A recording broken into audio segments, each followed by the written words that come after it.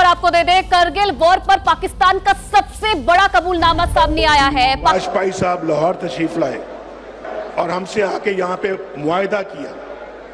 ये अलग बात है कि हमने मुआदे की खिलाफ वर्जी की। उसमें हमारा कसूर है। उसमें हम कसूरवार हैं।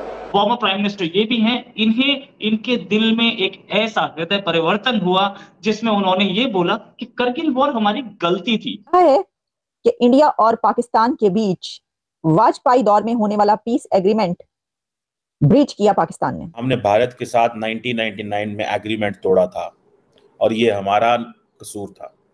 इन टेप्स की सैकड़ों कॉपियाँ बनाई गईं और दिल्ली में तमाम गैर मुल्की सिफारतकारों को भेजी गई। अब आप ये सोचिए कि जितने भी दिल्ली में उस वक्त एम्बेसिडर्स थे तमाम कंट्रीज़ के उनको जो टेप जनरल मुशरफ की रिकॉर्ड की गई थी कन्वर्सेशन की वो उन सबको भेजी गई थी तो बात तो फिर ना खत्म ही थी ना मतलब इतने अच्छे ताल्लुकात रहने थे। आज कल हम बात कर रहे थे जी मुकेश अंबानी अफ्रीका में जाके पैसे लगाना है तो आज पाकिस्तान मुकेश अंबानी यहाँ पे पैसे लगा रहा था।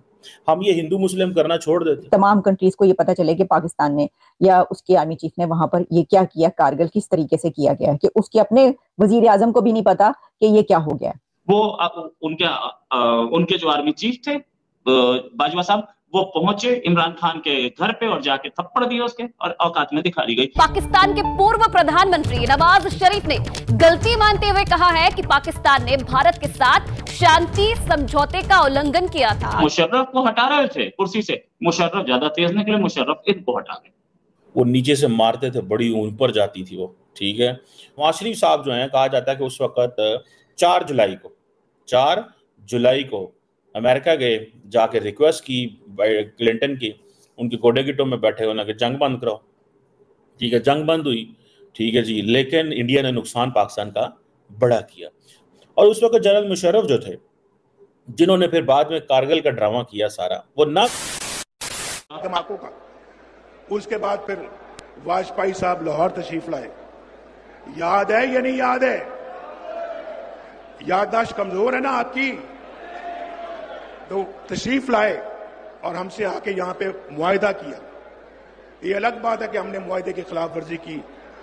नमस्कार दोस्तों, जय हिंद। पाकिस्तान ने माना कि कारगिल हमारी गलती थी। हमने भारत को धोखा दिया था। कारगिल युद्ध को लेकर पाकिस्तान के पूर्व प्रधानमंत्री नवाज़ शरीफ ने बड़ा खुलासा किया है। उन्होंने कहा कि वह नहीं चाहते थे कि पाकिस्तानी फौज कारगिल पे हमला करे, मगर इस प्लान का विरोध करने के कारण उन्हें पाकिस्तान के पूर्व राष्ट्रपति जनरल परवेज ने उन्हें पद से हटा दिया। भारत पाकिस्तान के बीच नाइनटीन में हुआ कारगिल युद्ध का पूरा प्लान सामने आ गया। पाकिस्तान के पूर्व प्रधानमंत्री नवाज़ शरीफ ने कारगिल प्लान का पूरा खुलासा कर दिया। नवाज़ शरीफ ने कहा कि वो कारगिल हमले के पक्ष में नहीं थे। वह नहीं चाहते थे कि पाकिस्तान फौज भारत पर हमला करे। नवाज़ शरीफ ने कहा कि उन्हें भारत और अन्य पड़ोसी के साथ अच्छे संबंध रखने के महत्व को रेखांकित किया था, मगर परवेज मुशर्रफ हर हाल में कारगिल पर हमला करने पर उत्सुक थे। तीन बार प्रधानमंत्री रहे नवाज़ शरीफ ने कहा, जब मैंने विरोध करते हुए कहा था कि ऐसा नहीं होना चाहिए तो मुझे निकाल दिया। बाद में मैंने जो कहा था, वो सही साबित हुआ। नवाज़ ने कहा कि प्रधानमंत्री के रूप में मेरे कार्यकाल के दौरान दो भारतीय प्रधानमंत्री पाकिस्तान का दौरा किया था। हमें भारत, अफ़गानिस्तान और ईरान के साथ अच्छे रिश्ते बनाने की ज़रूरत है। उन्होंने अफसोस जताया कि पाकिस्तान आर्थिक विधि के मामले में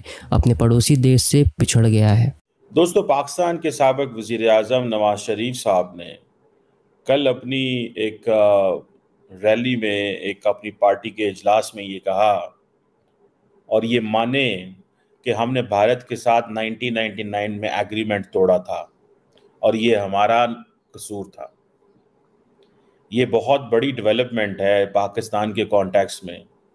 अनफॉर्चुनेटली आपको पता है कि पाकिस्तान के वज्राय आज़म का मसला है कि वो सच तब बोलते हैं जब वो अपोजिशन में होते हैं। या वो सच तब बोलते हैं जब वो जेलों में होते हैं। जब वो हुकूमत में आते हैं, वो सच नहीं बोलते। हुकूमत में आके फिर उनको हर चीज़ को छुपाना पड़ता है। जारी बात है, इसका मतलब यही है कि लार्जली इस मुल्क के अंदर जो पावर है, वो इलेक्टेड रिप्रेजेंटेटिव्स के पास नहीं है। यही वजह है कि मसले मसाइल रहते हैं। अब नवाज़ शरीफ साहब जो कहते हैं कि मेरी ज़िंदगी की बहुत बड़ी कामयाबी ये थी और मैंने ये कामयाबी हासिल की कि इंडिया के सबक वज़ीर अजम अटल बिहारी वाजपेयी जो हैं, वो लाहौर आए। और लाहौर आके उन्होंने मुझसे मुलाकात भी की, एग्रीमेंट भी हुए। लाहौर डेक्लेशन 21 फरवरी 1999 को साइन हुआ। उस एग्रीमेंट में ये था कि अमन, जो विजन फॉर पीस है, वो कैसे लेके आना स्टेबिलिटी कैसे लेके आनी है दोनों मुल्कों के दरमियान? और ये एक बहुत बड़ी चीज़ थी। जो सिग्निफिकेंस है, अटल बिहारी वाजपेयी के लाहौर आने की, वो बड़ी इंपॉर्टेंट है। देखिए, पाकिस्तान का एक बहुत बड़ा हिस्सा आज भी ये समझता है कि भारत पाकिस्तान की एग्जिस्टेंस को नहीं मानता। भारत पाकिस्तान को नहीं मानता, वो कहते हैं कि नहीं, ये एक रियासत थी, ये एक स्टेट है जो कि क्राफ्ट की गई है out of the bigger India ठीक है? सो वो हमें उस तरह नहीं मानते जिस तरह उनको मानना चाहिए। सो वो हमें अपनी तसलत में रखना चाहते हैं। हमें they want to treat us like Maldives like Sri Lanka like Nepal and बहरहाल ये जो कोशिश थी उस वक्त नवाज़ शरीफ की, अगर ये कोशिश कारामद हो जाती और उस वक्त जनरल मुशर्रफ जो थे, जिन्होंने फिर बाद में कारगिल का ड्रामा किया सारा, वो ना करते तो आज पाकिस्तान और भारत किसी और सर तरफ़ चल पड़ रहे होते। और आपको पता है, बीजेपी जो है, वो पावर में थी। बीजेपी जो है, वो कोई भी फैसला कर सकती है पाकिस्तान के बारे में। कहा जाता है कि कांग्रेस कोई फैसला नहीं कर सकती बिकॉज़ कांग्रेस जो है, वो उसके पास उतना कॉन्फिडेंस नहीं है। कांग्रेस इलेक्शन तो जीत सकती है, लेकिन कश्मीर और पाकिस्तान जैसे बड़े फैसले नहीं कर सकती। बीजेपी इलेक्शन जीते या ना जीते, वो फैसले सारे कर सकती है, और अब अगर वो जीते हैं अभी, जैसे नरेंद्र मोदी साहब दो दफ़ा कंजेक्टिव जीते हैं और तीसरी दफ़ा के भी चांसेस हैं तो वो फैसले कर सकते हैं। जैसे उन्होंने कश्मीर पे एक फैसला किया, जो कि यूनिलेटरल फैसला है। ठीक है? लेकिन at the end of the day ये जो अगर विजन फॉर पीस स्टैब्लिश हो जाता दोनों मुल्कों में सुकून हो जाता मामला ठीक हो जाते तो सारी चीज़ें ठीक हो जानी थी। तो बात तो फिर ना खत, खत्म ही थी ना मतलब इतने अच्छे ताल्लुकात रहने थे। आज कल हम बात कर रहे थे जी मुकेश अंबानी अफ्रीका में जाके पैसे लगाना है तो आज पाकिस्तान मुकेश अंबानी यहाँ पे पैसे लगा रहा था। हम ये हिंदू मुस्लिम करना छोड़ देते। हमने ये जो हर हर हर एंगल को, हर एक को मज़हब के लेंस से देखना शुरू किया है ना। कि कश्मीर के अंदर जी एक मसला है डिस्प्यूटेड टेरिटरी है, मसले वहाँ पे लोग लगे हुए हैं।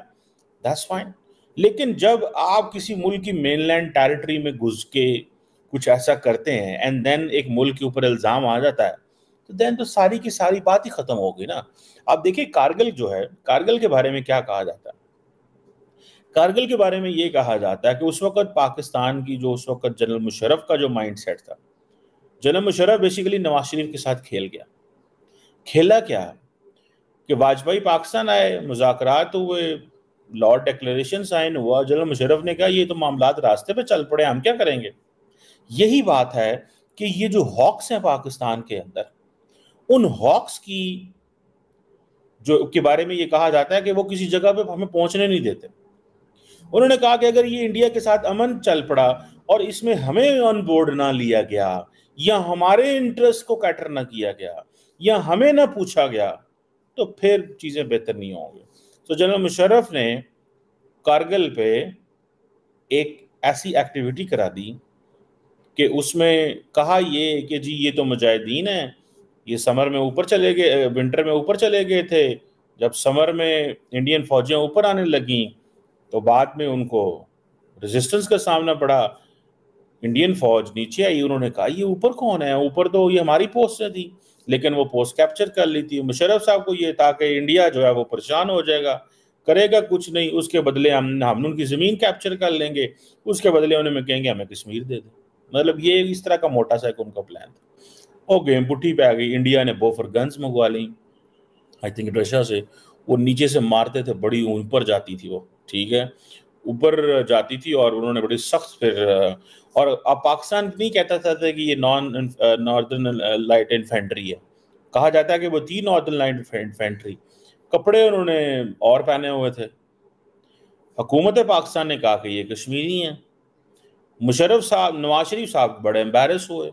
नवाज़ शरीफ साहब जो हैं, कहा जाता है कि उस वक्त, चार जुलाई को, चार जुलाई को अमेरिका गए, जाके रिक्वेस्ट की क्लिंटन की, उनके गोडे गिटों में बैठे होना कि जंग बंद कराओ।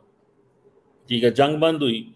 ठीक है जी, लेकिन इंडिया ने नुकसान पाकिस्तान का बड़ा किया। जैसा कि आपने देख लिया, पाकिस्तान के प्रधानमंत्री की क्या हैसियत है और सही मायने में पाकिस्तान को कौन चलाता है? पाकिस्तान ने भारत पर तब हमला किया था जब भारत ने पाकिस्तान से अच्छे संबंध करने के लिए हाथ बढ़ाया था। पाकिस्तान ने पीठ पीछे हमला किया था, फिर भी पाकिस्तान की फौज, भारतीय फौज के घुटनों पर आ गई थी। आपको इसके बारे में क्या कहना है, आप नीचे कॉमेंट करके बताए। अगर आपको वीडियो अच्छा लगता है तो वीडियो को लाइक करे और हमारे चैनल को सब्सक्राइब करें। आज के लिए इतना ही, जय हिंद।